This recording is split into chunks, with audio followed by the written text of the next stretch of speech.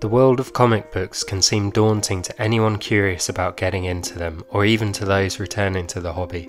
Characters are constantly refreshed, new storylines written, and even whole universes rebooted. It can be incredibly difficult to know where to start.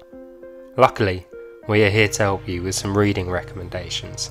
In this episode, we are going to look at a moving story written by Grant Morrison with art by Frank Quitely.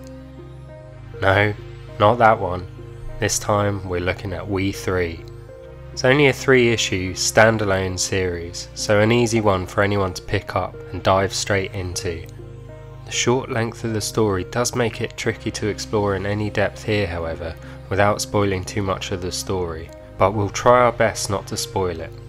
We 3 tells the story of three animals a dog, a cat, and a rabbit who underwent experimentation in a lab to become deadly weapons for use by the military.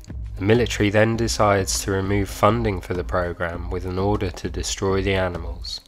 With some help from a sympathetic human, our protagonists escape, fleeing the compound in search of a new home. The rest of the story sees them being pursued by their former captives using cruel means to try and stop our heroes. It's a simple enough plot, but what makes it a standout story is how Morrison and Quitely combine action and emotion so expertly in such a small amount of space. Morrison and Quitely are best known for their work together on All Star Superman in 2006, but prior to We 3's release in 2004, they had worked together on New X Men and The Invisibles.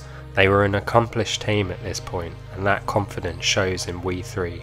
Quitely is allowed to dwell on panels without the need for dialogue, such as opening parcels or whole pages devoted to CCTV footage. It's around a dozen pages into the first issue before we even get any dialogue.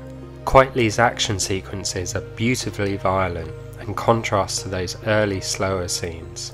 Different angles and framing lead to frantic scenes with the reader brought along for the ride at breakneck speed.